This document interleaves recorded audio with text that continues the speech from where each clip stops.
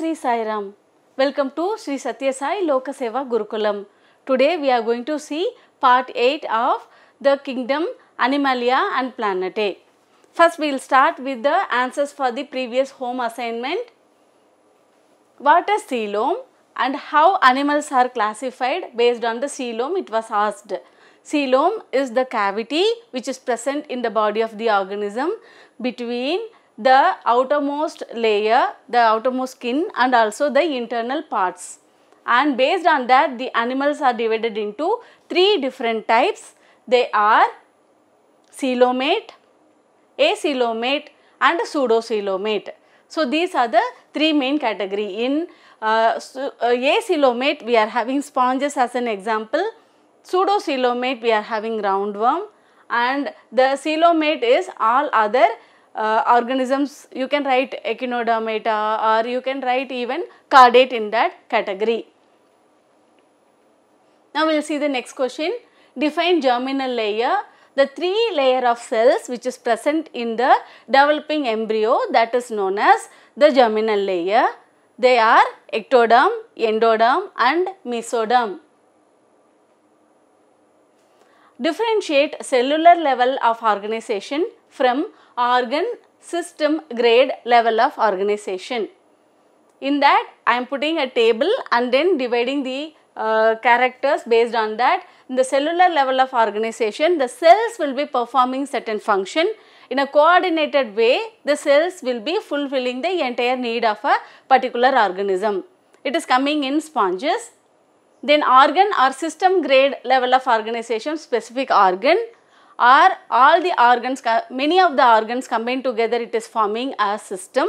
Based on that the organism is performing certain functions. Say for an example, the digestive system which is having mouth, salivary gland, stomach, liver and then it is having intestine right. So many different kind of uh, organs which is coming together it is performing digestion that is the only one function.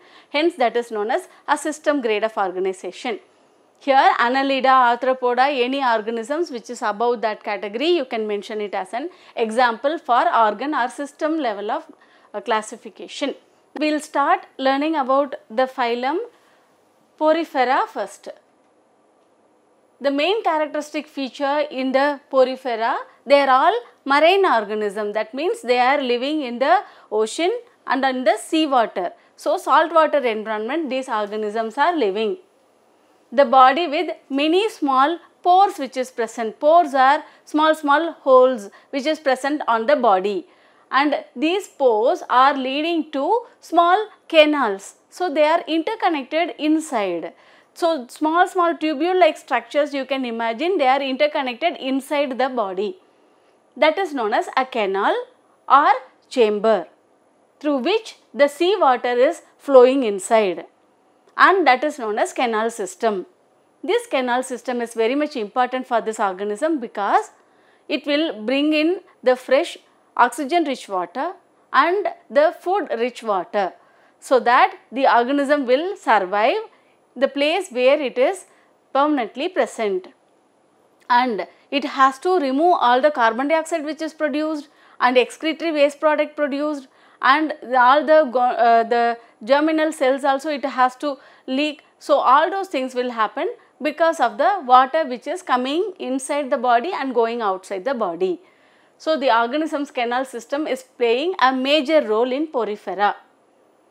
In that canal system the largest pore which is present is known as osculum mostly osculum will be present in the topmost part of the body through which the water which will be going outside the organism.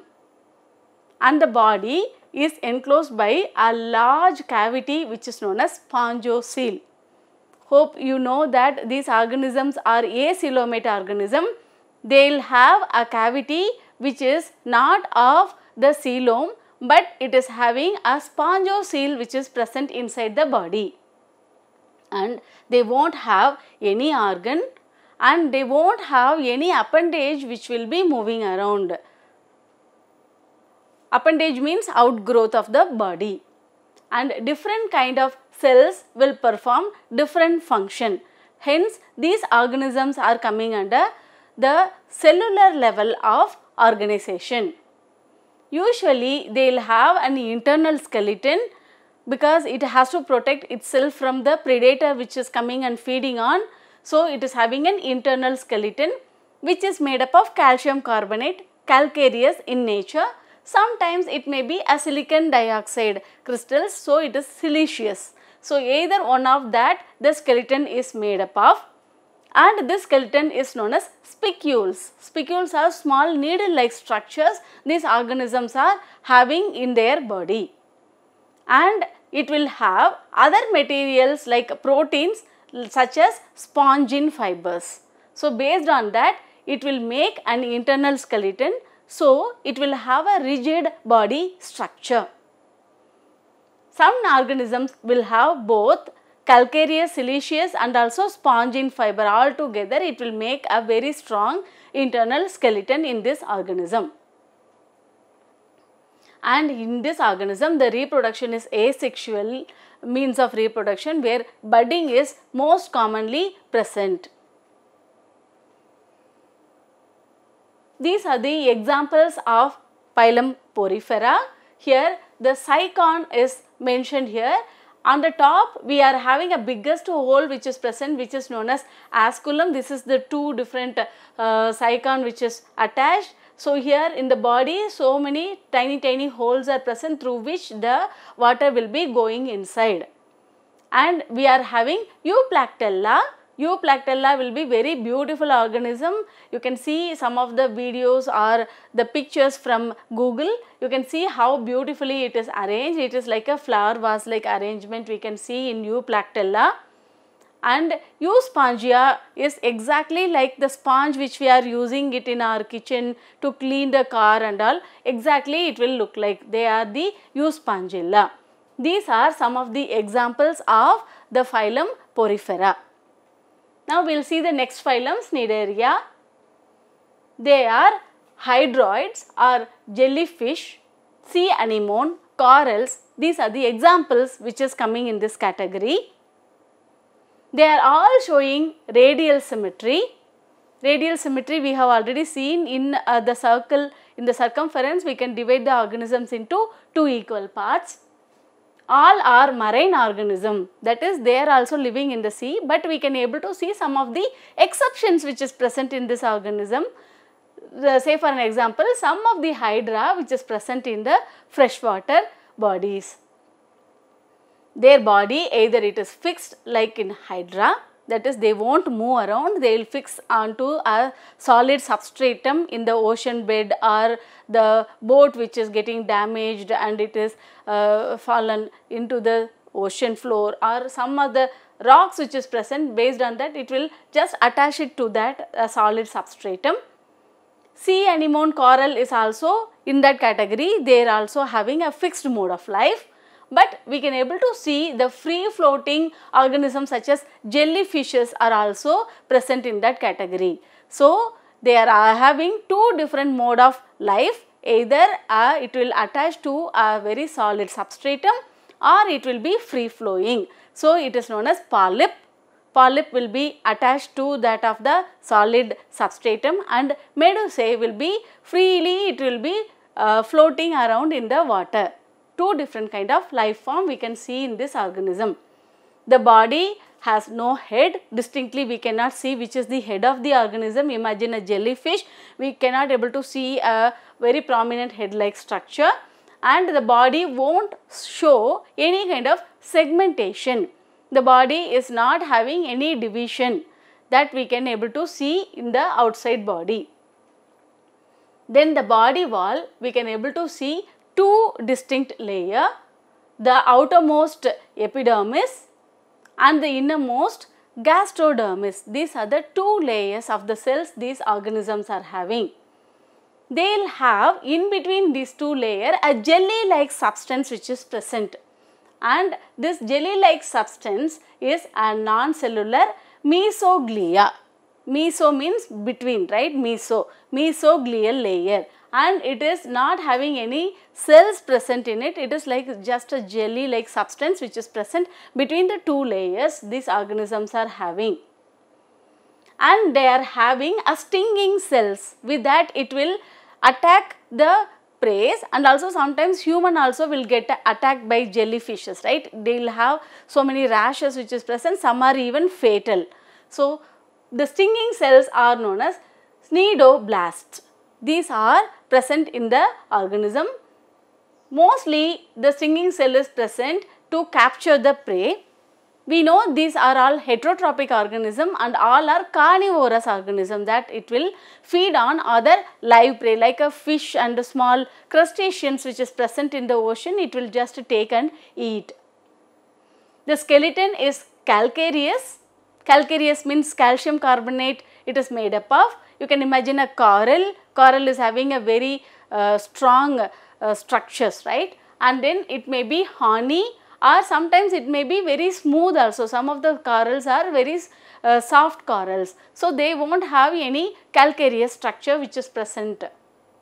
They are undergoing asexual mode of reproduction by budding because they are sessile organism right. They will attach to a solid substratum that is known as polyp. So, they cannot move around. So, they will do a asexual mode of reproduction or sometimes they will be doing a sexual mode of reproduction. The medusae which we have already seen like jellyfishes which will be floating in the water, they will undergo this kind of reproduction. So, both are present in the organism. Now, we will see some of the example. Here hydra is present, hydra is undergoing budding. So, the bud will get detached from that of the mother hydra and it will lead a independent life and here uh, example of a jellyfish is given where you can able to see the arms which is present and it is having all the margin is uh, having so many tentacles which is present in the center we can able to see the mouth of the organism. Then the last one is sea anemone. You can imagine the jellyfish upside down. We can see that sea anemone. In the sea anemone, it is having a base and it is having a column, a long tubular structure the mouth is present in the middle of the organism and then it is having tentacle all around the circumference which is present in the topmost part of the body that is sea anemone. So, these are some of the examples which is coming in Cnidaria phylum. Next is platyhelminthes. They are commonly known as flatworms and they are long elongated in structure. They are having a very soft body and they are flat right. So, dorso-ventrally top to bottom it is getting flattened and they are not having any true segmentation and they do not have any body cavity that is coelom is absent in this category of the organism. They will have the some of the structures which is very much important to lead the parasitic life such as hooks and suckers are present sometimes both may be present on the body. With that it will cling to the host. Say for an example if it is living in our intestine then it will cling to the intestine because intestine is the place where constant movement will be taking place right as we are taking food and peristaltic movement is also taking place. So these organisms they do not want to washed away because of the movement what our body is having. So, it will cling on to the intestine using the suckers and also the hooks which is present in the body. And usually they will have both male and female reproductive structure in the same organism. Few segments will be uh, male and few are female but even though the segmentation is present it is not a true segmentation which is present in the organism. So, they will undergo sexual reproduction and asexual reproduction also we can able to see in some of the organism. They do not need an alimentary canal because it is living inside the body of the organism. So, it is getting a totally digested food which is coming. So, it will happily feed sitting inside the host body. So, it does not need anything to getting digested because all the digested food is feeded onto the mouth of this organism. Hence, alimentary canal is not present very properly, but even if it is present, it will have only the mouth that is a small opening through which the food has to go inside the organism. In some of the organisms, we can see the alimentary canal when it is present, it may be a free living organism. and few are free living. Mostly they are parasitic organism. Here the examples are planaria. Planaria is a free living organism. Mostly planaria uh, people will grow in the lab to do some of the experiments. Fasciola that is the liver fluke and it is parasite of the sheep liver. Then tapeworm that is known as Taenia which is a parasite of the human which will live in the intestine of the human. These are the pictures. The first one A picture is the planaria where we can see they are the free living organism hence eyes are present and apart from that we can able to see that that is having a mouth through which it will feed and it, the gut is also present in this organism. Whereas in the Taenia solium, the tapeworm, we cannot see the organisms are having any prominent eye-like structure which is having a small head which is known as scolex. The scolex are having hooks and suckers which is present. Hooks will be present in two concentric circles in the anterior end and it will be having four suckers which is present in the four different directions of the topmost part of the scolex. Is having a proglottid that is the entire body of the organism. The last one you can see here is the fasciola. In fasciola we can see the suckers which is present and it is having a gut which is present inside the organism. With the sucker it will get attached to that of the host especially the sheep liver right where it will survive and then it is having a gut through which it will absorb the food material. Now we are coming to the end of the presentation. We will see the home assignment questions. Explain the general characteristic feature of a flatworm. Define canal system. What are the two forms of cnidaria? These are some of the questions asked. Hope you understand the subject properly. Thanks for watching. Om Sri Sai Ram.